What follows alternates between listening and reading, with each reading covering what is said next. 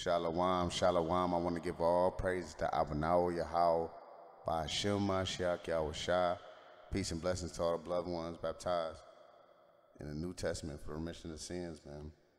Forgive me, I almost had to burp. So today, man, I got one scripture for the day, real quick, which is going to be Proverbs chapter 17, verse 12. It says, Let a bear robbed of her whelps meet a man rather than a fool in his foolishness, man. So uh, I just wanted to bring that out, man, because I was reading this, man, and this is pretty deep, man. And this is King Solomon, man.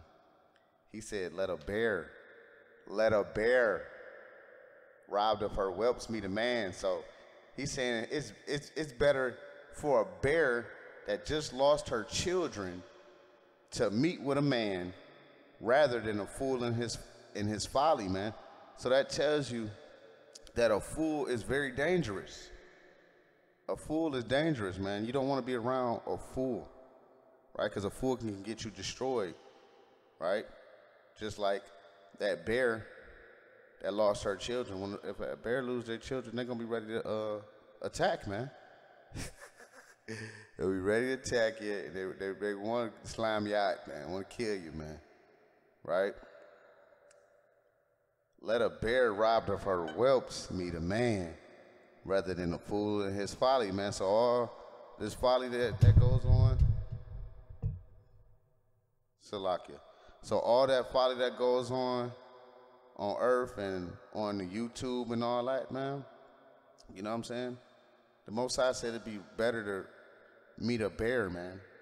And and you don't want to meet no goddamn bear.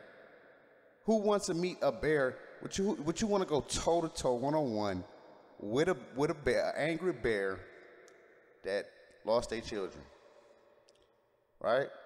So if you wouldn't want to go one on one, right, and you don't want to meet with a bear that just lost their children and pissed the hell off, you wouldn't want to meet with them.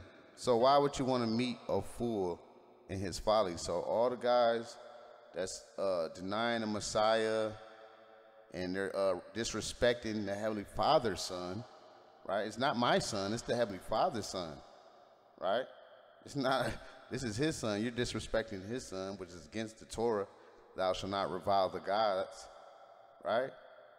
The Most High said, it's better to meet a bear that have been robbed of her whelps than to meet a man in his folly, man. So the people that want to deal with folly, you know what I'm saying? We just gonna we just gonna ignore you, man. Right? Unless the most High put the spirit on the beloved ones to chop you down. But for the most part, we're gonna avoid you and ignore you. Right? Just like we don't want to meet a bear that just lost their children. You don't want no uh, conversation with a bear that just lost their children. So with a fool, man. So uh, shalom.